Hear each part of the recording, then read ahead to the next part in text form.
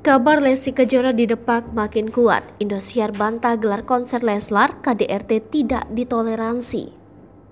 Setelah Rizky Bilar dipecat dari Indosiar lantaran KDRT, kini isu mencuat bila Lesti Kejora ikut dipecat. Indosiar bak tak mau mempekerjakan Rizky Bilar yang telah melakukan KDRT ke Lesti Kejora. Kini, Lesti Kejora pun dikabarkan dipecat lantaran ia mencabut laporannya terhadap Rizky Bilar. Banyak yang menilai Lesti Kejora mendukung KDRT yang telah dilakukan Rizky Bilar. Isu ini semakin kencang berhembus manakala pihak Indosiar membantah tegas akan menggelar konser Cinta Leslar bersemi kembali. Diketahui, setelah Lesti Kejora mencabut laporannya terhadap Rizky Bilar, muncul kabar keduanya akan menggelar konser di Indosiar. Lantaran kabar tersebut, pihak Indosiar pun mengungkap fakta sesungguhnya. Pantauan seripaku.com dari Instagram Indosiar. Kabar tersebut hanyalah hoax semata.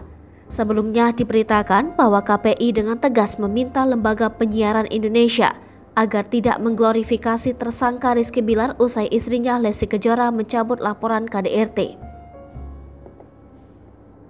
Komisioner KPI Nuning Rodia mengatakan bahwa lembaga penyiaran memerlukan iklan layanan masyarakat konten-konten siaran yang mengarahkan pada upaya penghapusan KDRT dan penguatan korban.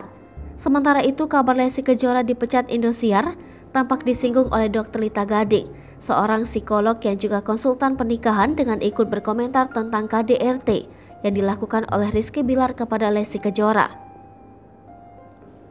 Dr. Lita juga menyebut Lesti sebagai pendukung KDRT karena telah mencabut laporan terhadap sang suami meski seluruh Indonesia sudah mendukung aksinya saat melapor ke pihak kepolisian.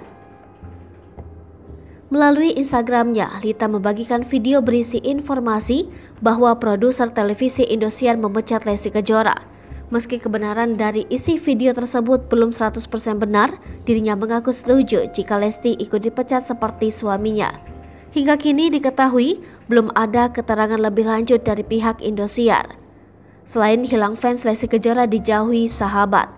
Tak cuma karir yang nyaris hancur, rupanya Lesti Kejora juga banyak membuat kecewa sahabat-sahabatnya sesama artis. Lesti Kejora dinilai terlalu bucin dengan Rizky Bilar, hingga rela mengorbankan dirinya untuk kembali bersama pria yang telah menyakitinya itu. Tagar boykot Lesti Kejora dan Rizky Bilar pun tampak ramai di sosial media. Hai pemirsa Sri TV, jangan lupa komen, like, dan subscribe, serta tonton terus berita-berita terupdate lainnya ya.